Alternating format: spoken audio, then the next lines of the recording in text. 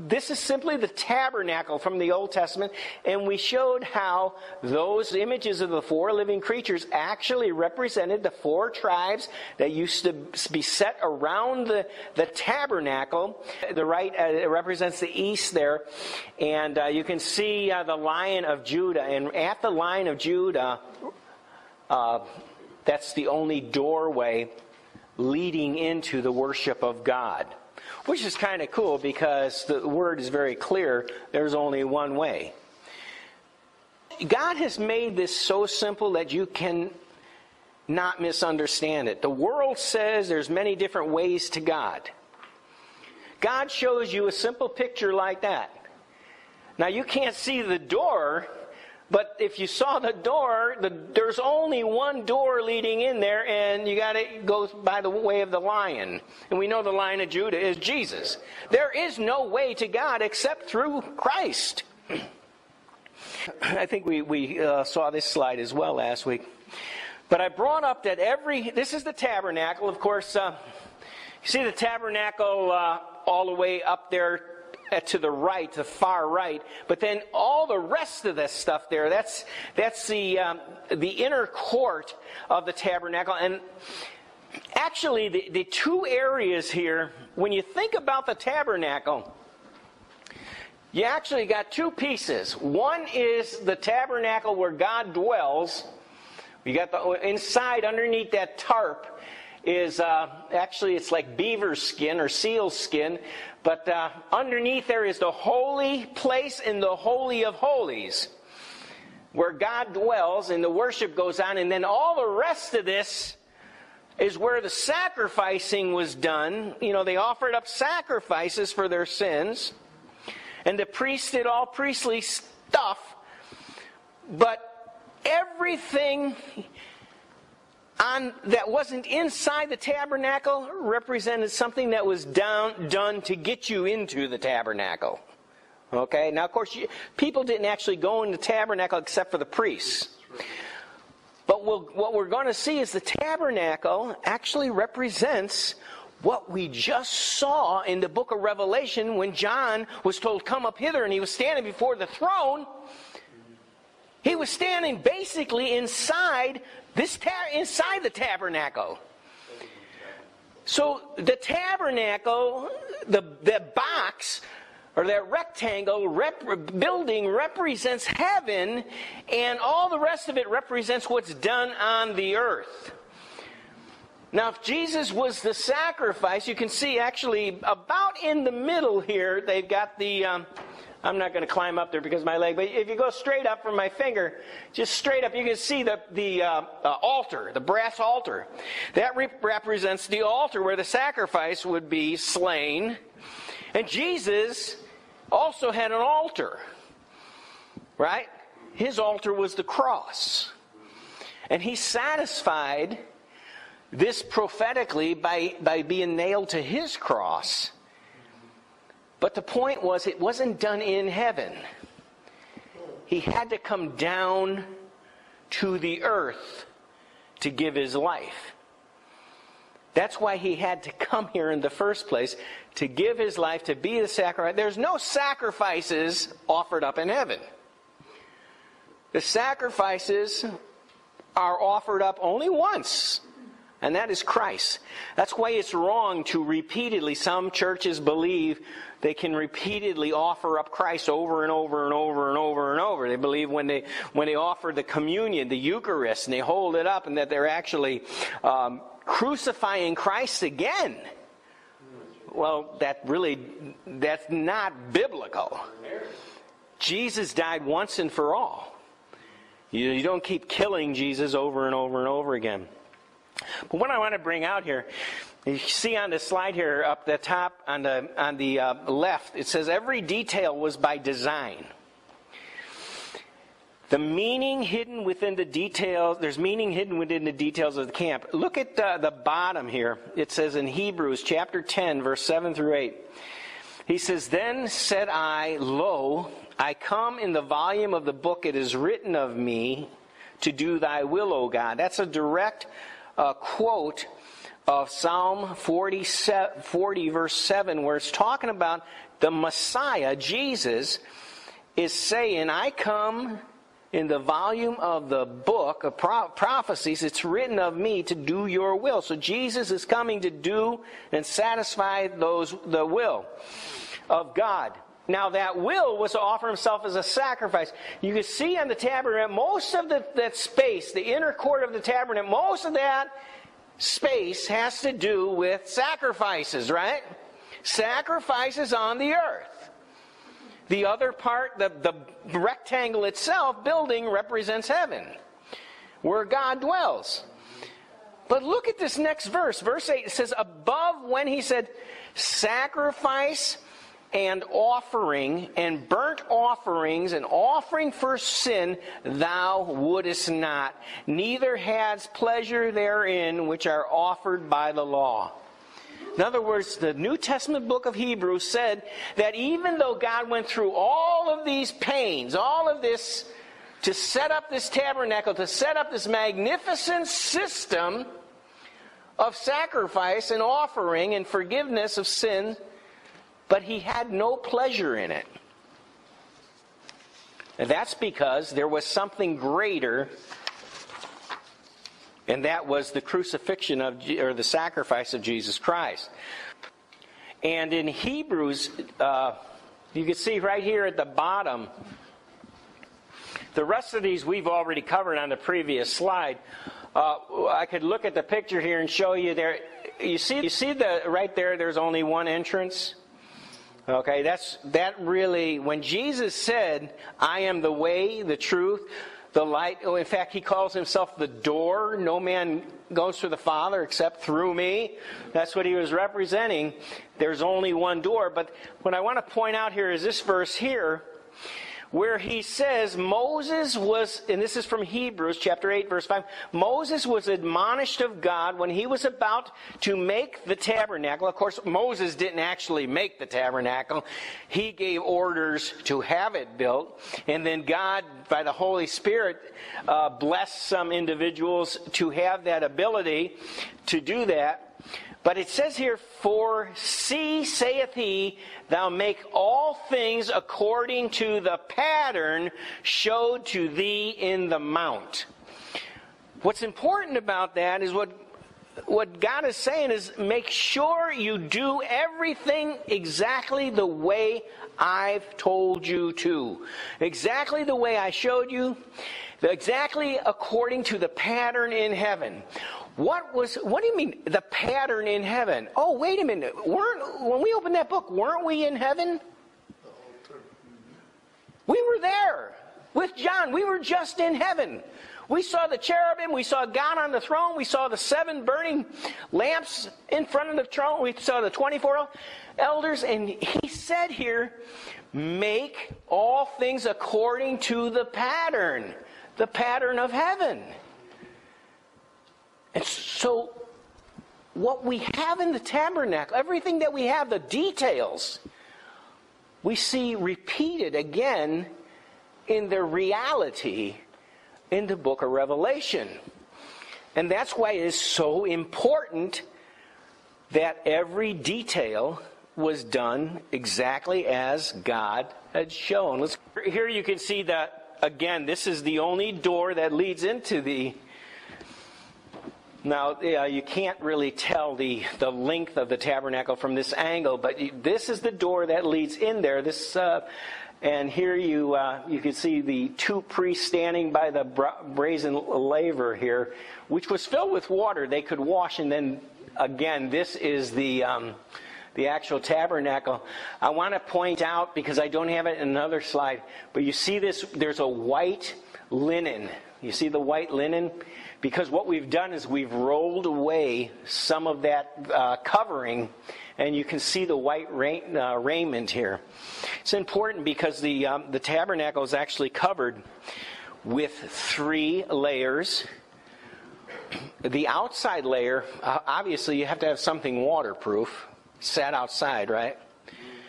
And so what they had was some say beaver's skin, some say seal's skin but it, it, it reflected, the water bounced off of it. kept the water out. So on the outside, you had like a, the animal gave his life, right? Had to give his life to be the, so it represents Christ. You see it? And you have the covering, but the other side, what do you have on the other side of the skin? Blood. Right? So you see how perfectly it represents the sacrifice of Christ. And then the next layer was white linen which represented the righteousness of Christ. Okay, and we'll, we'll see the third one as well. It's interesting that there's Father, Son, and Holy Spirit as well. But, um, badger skin, yeah, badger skin, beaver skin, seal skin. It depends what commentary you read. Yeah. Remember, this they walked around the wilderness for 40 years taking it down and putting it back up. Take, Pastor, I have been involved with new churches, new, new startups, where you go, you assemble all the chairs, you know, maybe you're renting a school, you put it all up, you have the service, and then you put it all down. Oh, what if you have a Sunday night service? you know, you put it all up, take it all down. Wednesday night, you put it all up, take it all down, right? Well, we have a special song service on Saturday, put it all. That gets old in a hurry. You don't know how good it is to be able to come here on Sunday and say the chairs are already there. To have your own place. It's great to have your own place to worship. But this had to come down you know, they, they would have got, been, gotten the promised land a long time ago had they not have been disobedient and uh, obedient in their faith. What you see here, of course, you got like some, you got uh, some sacrificial animals up there at the top here. I think you got two people up there, two priests. Um, here's where the altar is, where they would.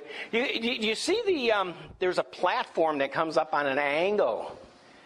That that that um, that altar was pretty large. For the priest to put that sacrifice up there, actually it would take more than one, but there was a, a, a, diagonal platform so that they could carry the sacrifice and throw it up there. They did more than, more uh, than one at a time. And there were poles here as well that you could carry that thing when they moved.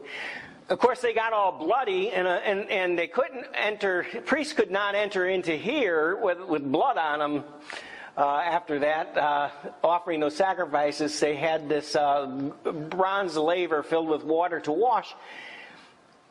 All this was outside. This, this is called the inner court. When you had the temple, you had an inner court and an outer court. But here was just the inner court. But then when you got into here, this was the holy place. You had to be a priest to get in there. Did you know it's the same thing today? None of you are going into heaven unless you're a priest. But he has made us all kings and priests through the blood, right? That's what he's called. So, once again, we have an argument for or, or, a response to anyone to say, well, you know, I can be a Buddhist and still go to heaven. Good luck. If you're not washed in the blood of Christ, how are you going to get in, into heaven? There's only one door, and you got to be a priest. You know, only the high priest could get the part that's still covered up that was considered the holy of holies. Because here you can see all the uh, all the equipment here. You had the bronze altar for sacrifice. I've labeled it here. The bronze laver of water for cleaning. Over here, when you when you first walked into the into the uh, the the holy place, on the left hand side, right here, it's not. Uh, Oh yeah, I got it. I got it listed up there. There was a menorah, seven golden stem lampstand right up here. And then over here, the 12 loaves of unleavened showbread. Over here, the altar of incense. So that consisted of the holy place. And then in the Holy of Holies, all you had was the Ark of the Covenant. And there was this thing on top of the Ark of the Covenant. You had two cherubim that were overseeing what they called the mercy seat. And the blood would be applied on the Day of Atonement onto the mercy seat by the high priest. All this symbolism is in the book of Revelation. Now, of course, you're not going to see the bronze altar in the book of Revelation because we actually are in here. So you, you, you shouldn't expect to see anything bronze. That's for the earth. And the work was done by Jesus, right? But the first thing you do see in Revelation 1, 2, and 3, you see a seven golden candlestick. Right? When you get to chapter 4, it becomes apparent not only do we still see the seven golden candlestick in heaven, but we look to the other side. If we were in the tabernacle, what would we see? The 12 loaves of showbread, right? They were unleavened bread, and they represented the 12 tribes of Israel. And the only people that could eat of it, partake of that bread, were the priests. Okay? Normal, not everyday people couldn't eat of that. But what do we see when we get into heaven? We see the 24 thrones. So, what I believe, I think where the Holy Spirit is leading on this, is that the 24 thrones, whatever that 12, those 12 pieces of bread represented, and we know it represented the 12 tribes of Israel, but only the priests could eat it, right? So only the priests served inside that. So those 24 thrones and those 24 elders, they represent the same thing as the showbread.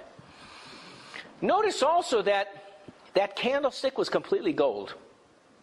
I mean, complete, complete gold. It's solid gold. In fact, it was uh, it was shaped out of one piece. I don't know how they did it. That's a that's a great mystery. They just pounded it and pounded it into shape, and it wasn't like today you would just get a piece and you would you would pour the gold into a mold or something.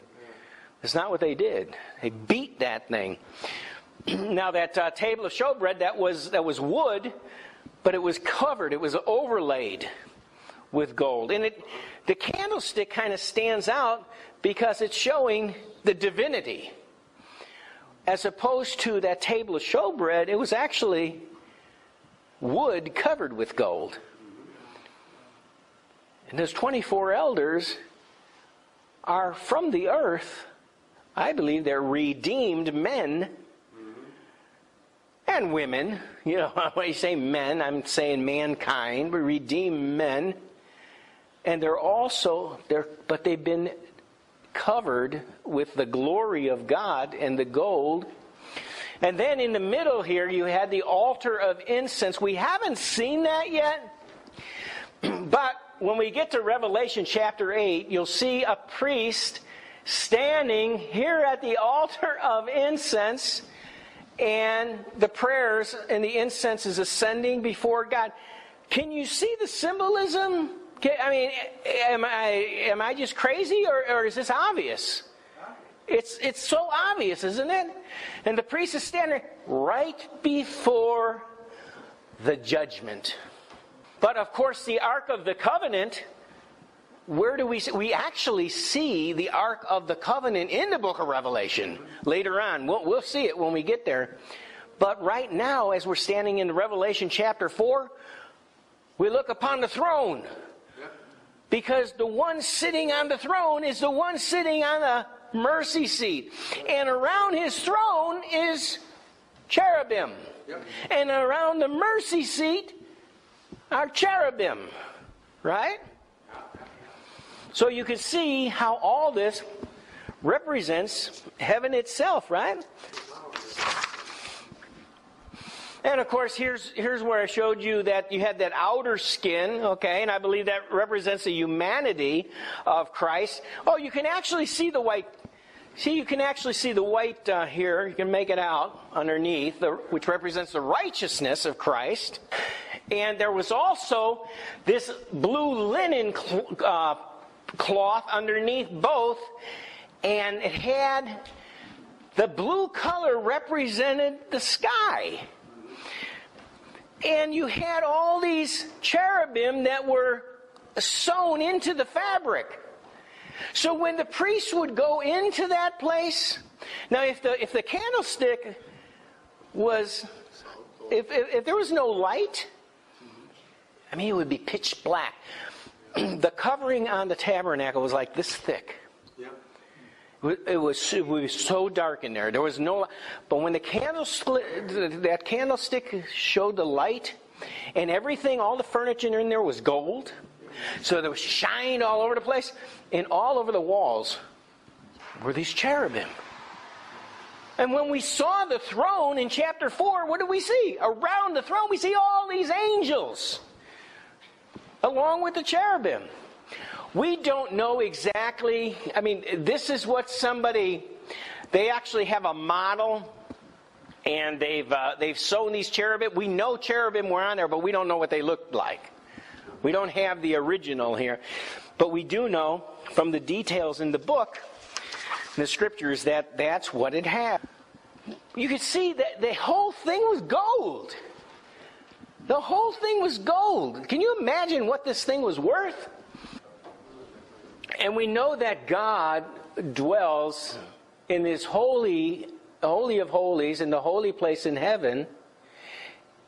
And there's this, there was this blue linen cloth that separated the tabernacle itself from the rest of the world, right? And what do we have if we look up in the sky in the morning? We have a blue sky, which God is up there in His holy place, right? And nobody gets in that holy place except they come through the door and they're washed in the blood and they're a priest, right? And this just shows the, uh, you know, it just shows the uh, animals are getting ready for sacrifice. You, can see how huge that uh, that altar was. That's where they offered up all those sacrifices, and uh, it was huge.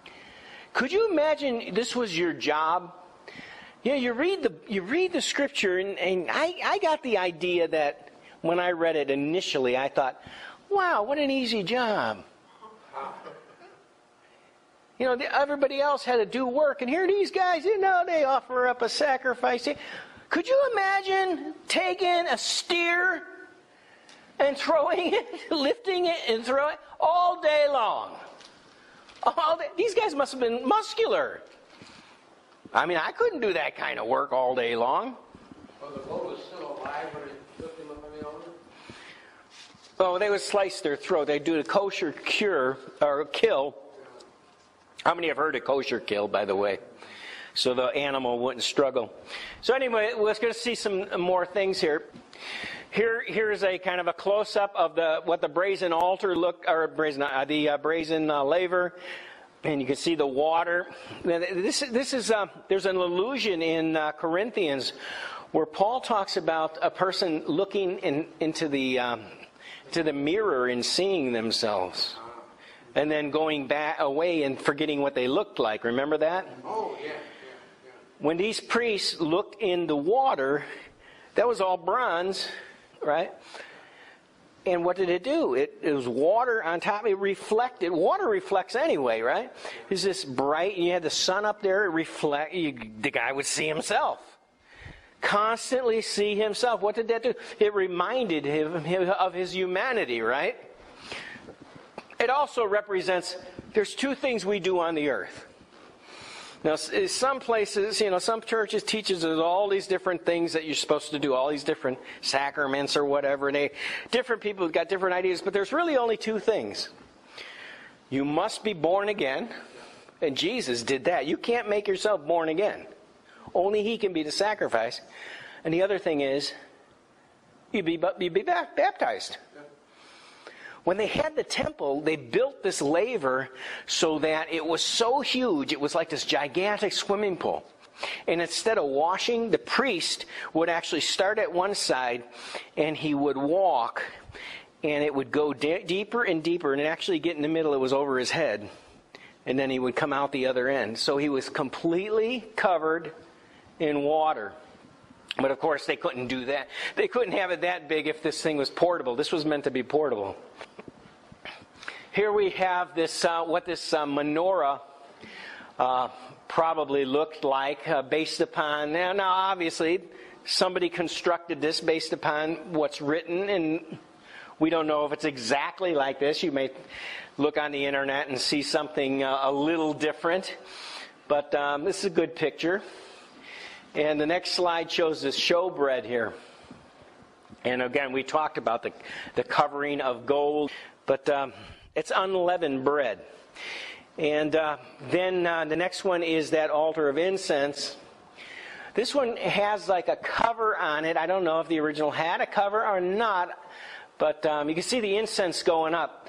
The thing that was kind of neat about this altar of incense was they would go, the priest would go out, and before they offered up the incense, they would go to the brazen altar where they offered the sacrifices, and they would take the red hot coals in a bucket, carry them in there, and put those coals in there to burn the incense. So the coals had to have been through the sacrificial blood before the incense could be raised up. That's what the Word of God says about you.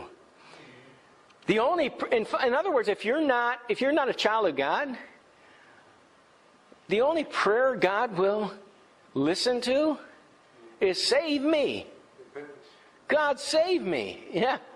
And then he'll direct you how to do it. But he has no obligation to save you if you're not his child. He gives you directions how to how to get there. Once again, people say, well, all, all religions are alike. Uh, the largest religion today may be, now they, they're still debatable whether it's Christianity or Islam. Uh, the reason Islam's growing so so fast is they have lots of them have multiple wives. They could have seven. One guy could have seventeen children, and then a lot of Christians, you know, Christian families don't even have children anymore. You know, a lot of a lot of people don't even have. They get married, they don't even have children. And you got to do what you're going to do, but uh, I do I do believe that that command, be fruitful and multiply, is still God's will, because if we don't keep producing, we're not going to have any Christians pretty soon. You can see another view now here. Here we have a here's a, a priest standing next to the seven golden candlestick here. Uh, this is just a regular priest. Here is the high priest, and you can see he, he's dressed much different and on his chest here, we'll see in a minute, but he's got these 12 gems that are on his chest.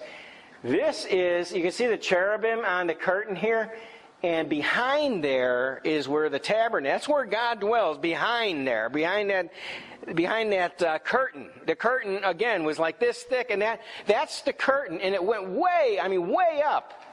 And that's the curtain that was torn when Jesus hung on the cross. He said, It is finished.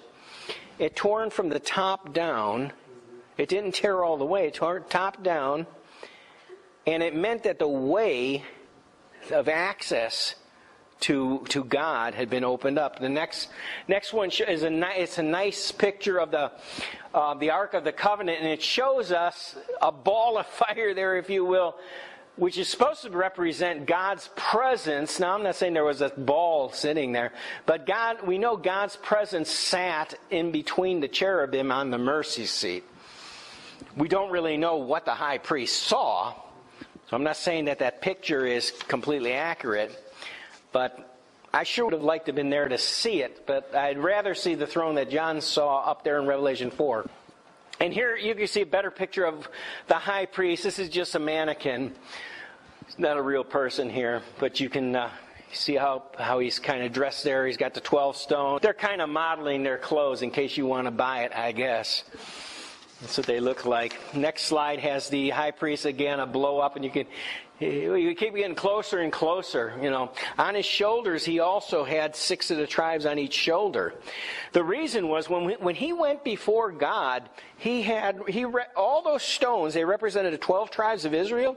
He had six six on this side and six on this side, and he was carrying Israel upon his shoulders. What did Christ do with his cross? Carried mankind on his shoulders, right? And on his heart before God he brought, whenever he went into God's presence, he brought the whole uh, people of God before him. And the next slide shows us behind that curtain, you know, how many saw The Wizard of Oz? There was that guy behind the curtain working all those controls. Well, here there was no guy behind the curtain, there was just the ark. Okay.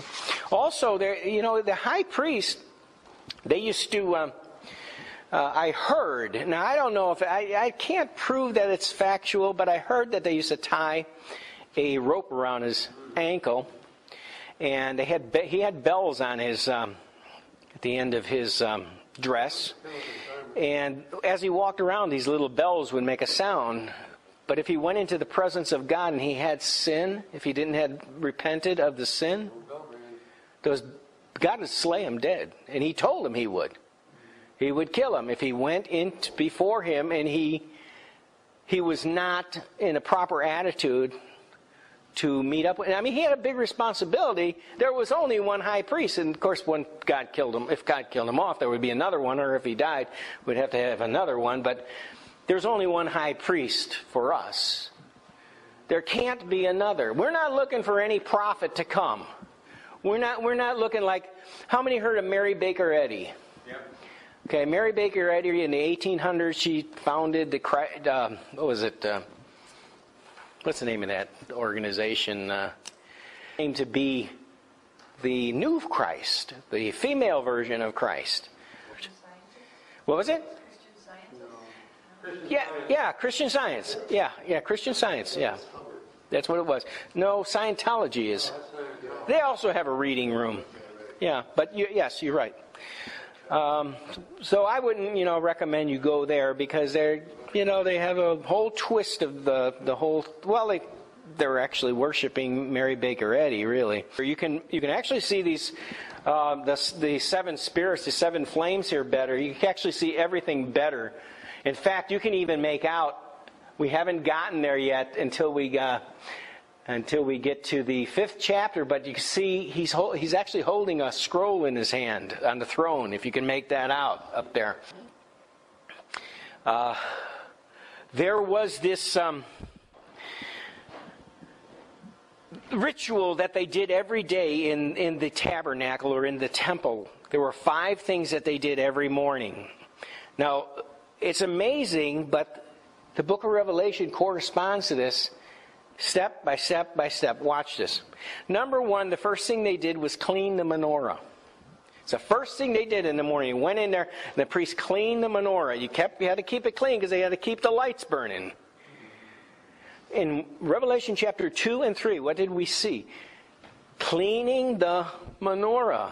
Remember, he kept saying the menorah was the churches. He kept saying to the churches, repent, repent, repent, right? He was, he was, he was telling us, clean the menorah. So that was the first thing. And we see that right away in the book of Revelation. The next, then after that was done, the second thing, they opened up the gates. Remember, there was, um, you can see it here on the left. You can see the gate opened up. There was only one entrance to the tabernacle. Well, what do we see in the book of Revelation? After we see the cleaning of the menorah, we see the door opened up in heaven, right? The doors opened up, open up the gates. And that's Revelation 4 1. then we see in Revelation 5 8, we see exactly what uh, it was the next thing they did offering of the incense. And we see that in the book of Revelation, Revelation 5 8. We see them uh, elders were uh, offering the incense, in fact. Um, we see in Revelation 5 6 a lamb offered up as a sacrifice. The lamb approaches God. And then, uh, of course, uh, at the uh, towards the end of Revelation 5, which we didn't read, by the way, we see uh, the worship of God. The same thing happened every day, every day, every day. And here we see it repeated in the book of Revelation. I don't know if you're getting a, a, a, a hint of why Satan attacks this book so much.